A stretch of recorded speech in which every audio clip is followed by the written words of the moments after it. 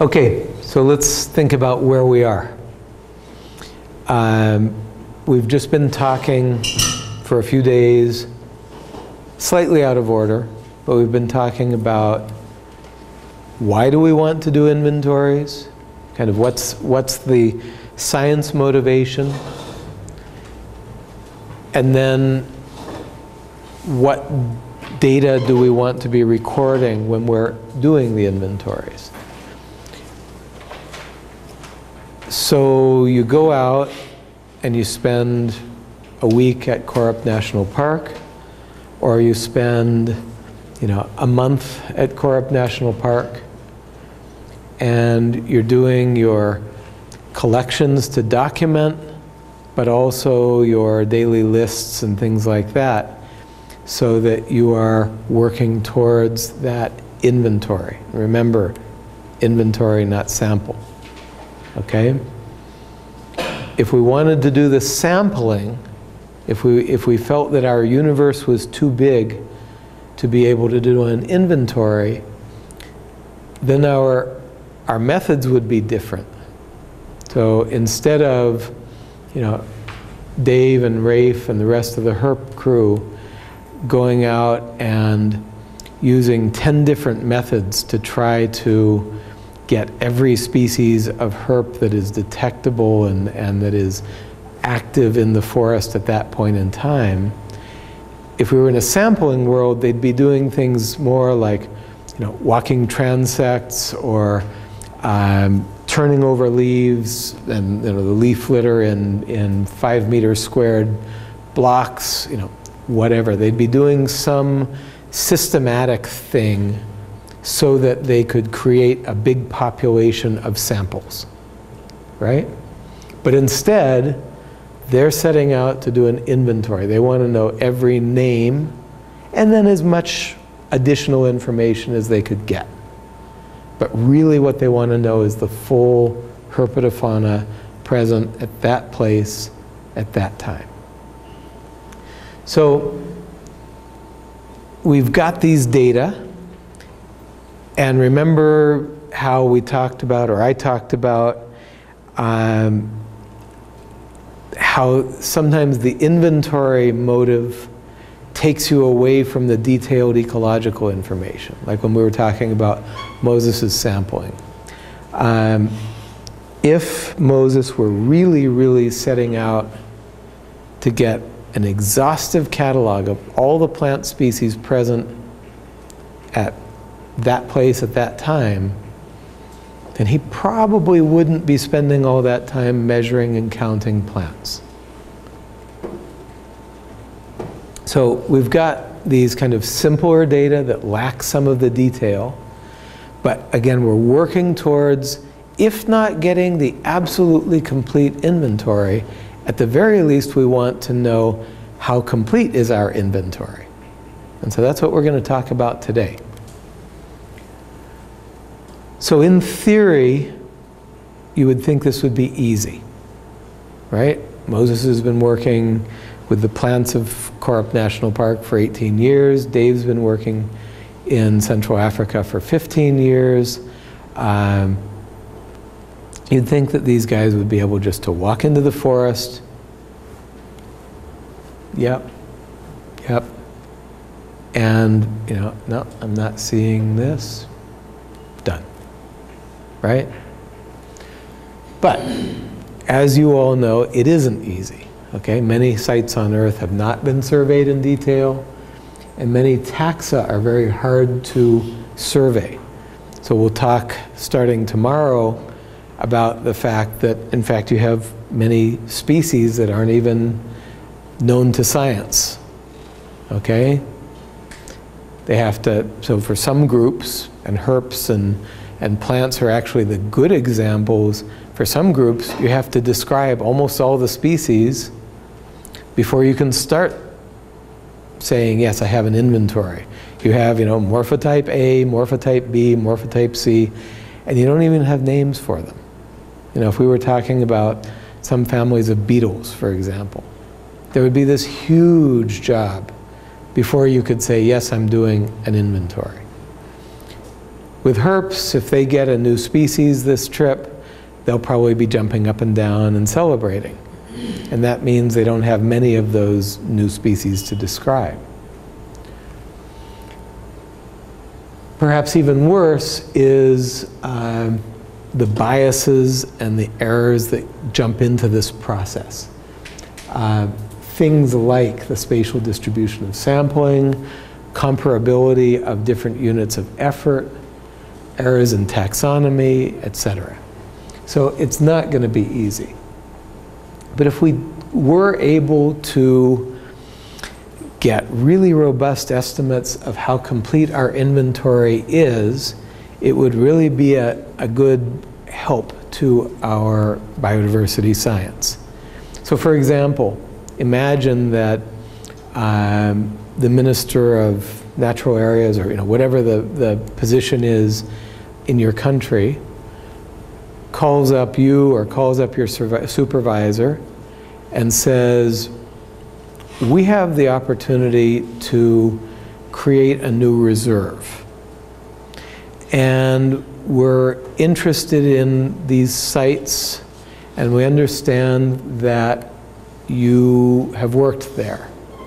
Can you please help us out with information about which of these sites is more important, or um, what species are present at these sites?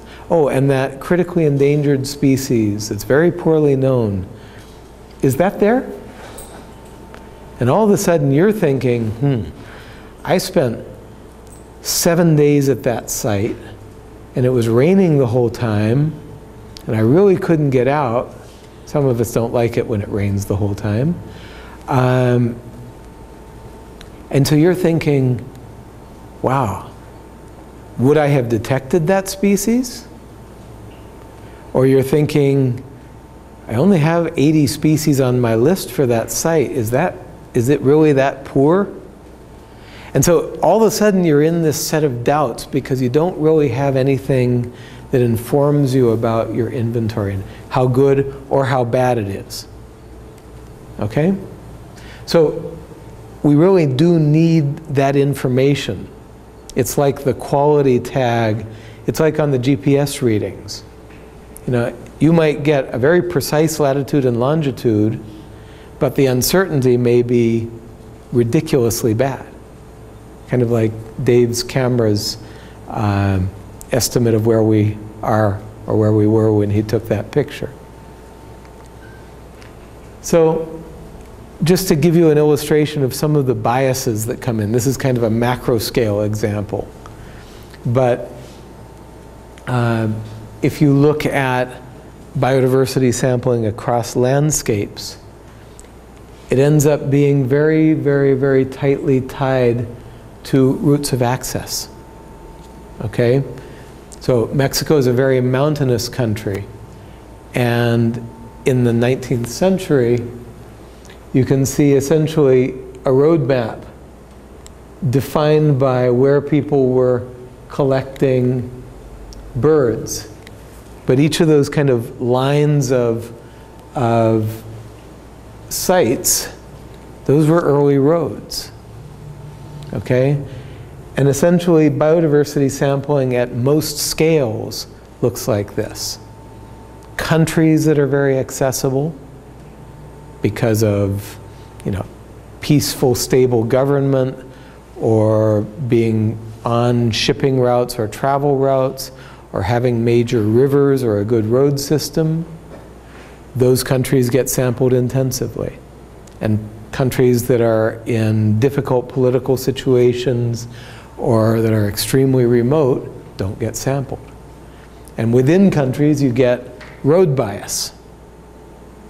And in fact, within a site, you're going to get trail bias. Okay? Think about it this next week when you are moving around Korup National Park, you're going to be mainly in the, I think it's southwestern portion where chimpanzee camp is, because you're not going to have the energy to walk to the other end of the park. You're going to be mainly moving around on the trails. And if the trails are situated in certain environments, then you will be sampling the off trail environments less. And if one stream is right behind camp, that'll probably have a herpetologist in it every day. And if the other stream is a half hour's walk or three hours walk, it'll get sampled less. So right away you get these spatial biases. And if the spatial biases are at all uh, correlated with environment, environmental variation, then you're going to be biased immediately in your sampling. Again, this is a coarse example, but here's a temporal bias.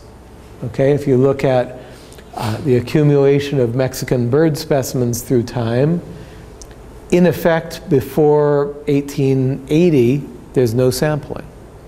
And I assume that effect here is even stronger. And then look at this. This is a time when across Mexico you had a war going on, a civil war, and at the same time the European and American collectors were preoccupied with a world war.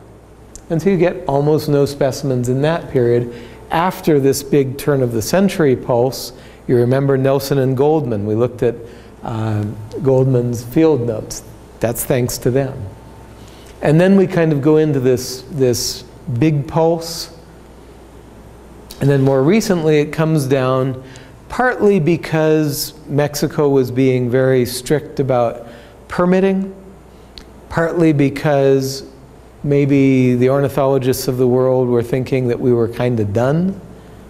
Uh, many of us think that they were kind of wrong. So again, one of these general properties of biodiversity information is that most sites don't have any data. Okay? So this is this, the same analysis of, of uh, Mexican bird sampling. The top panel is by block. Um, so essentially that is uh, pixels across Mexico, sorry, pixels across Mexico and how many records each one has, and the frequency with which different pixels across Mexico have that number of records. So you can see there's one pixel that has 10,000 bird specimens from it.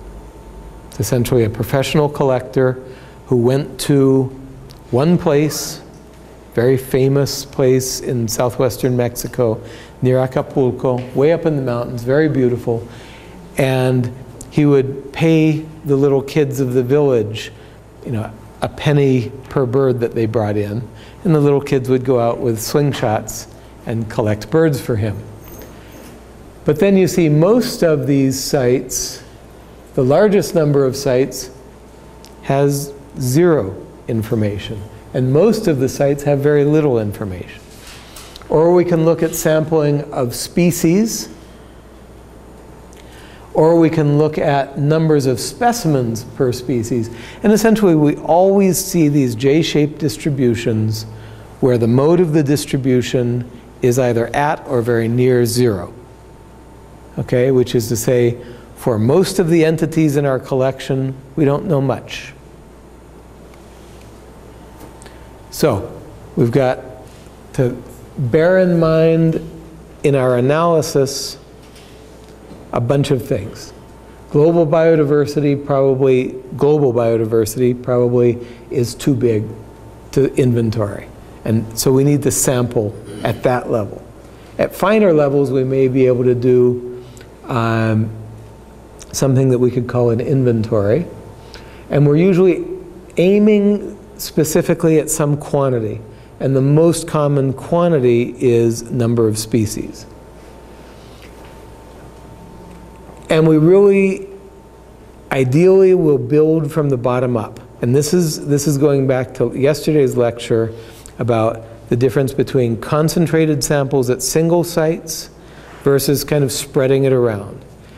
If we are able to focus our, our efforts at single sites we essentially use the power of our data more efficiently. Um, and then if we do that at enough sites across a landscape, we can look at how local diversity translates into regional diversity. And essentially the difference between local and regional diversity is how much the set of species turns over between one place and the next. And that is what we call beta diversity. Everybody familiar with those concepts, alpha, beta, gamma diversity? Yeah. So the local single site diversity is referred to as alpha diversity.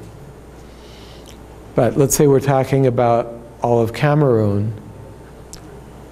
We're not imagining that all of the species present in Cameroon will be present at any one site within Cameroon. And so that global, in this case Cameroon-wide diversity, we refer to as gamma diversity. And that then brings you to some really interesting thinking points, which is how much, you know, if I, if I do a local site inventory here, and then I move one kilometer down the road, do I get the same result? Do I get the same set of species? This is what Dave was talking about with going back to a site, or no, it, I guess it was Rafe was talking about this, sorry. Going back to a site, and you want to say as a biogeographer, it's the same mountain, but they went one stream drainage down the road. And they got a whole bunch of new species, like 60% species, 60% of the species that they got in the second inventory, they didn't get in the first, something like that. And if they'd gone another kilometer down the road and another, you'd be able to measure essentially how many species drop out and how many new species come in. Right? That is beta diversity. That is the site-to-site -site component of diversity. But just think about it with me, that gets really interesting because if you do that sort of very detailed sampling across a landscape, many individual inventories, then what, and if you can you know, control for the seasonality effects and things like that that Rafe mentioned, you may be able to pick out important biogeographic breaks. For example, maybe when I'm in that higher, more continuous part of the Cameroon Mountains, maybe I go from site to site and there's not much change. But then I get to a deeper valley, maybe that goes down to 500 meters, and I see more species turning over across that valley, you know, between the highland areas on either side of that valley. Okay? So if you, can, if you could map beta diversity, then you would be able to um, essentially detect biogeographic barriers based on species composition. But that depends on having lots of those intensively sampled sites, those, those inventoried sites. Is That making sense to everybody? I'm not giving you an explicit definition of beta diversity in mathematical terms because there are like 20, okay? But we have a whole lecture on that from the past course, so we can link you up with a, a movie to watch about that. Okay, so now let's talk for a while about kind of the theory behind the sampling that we do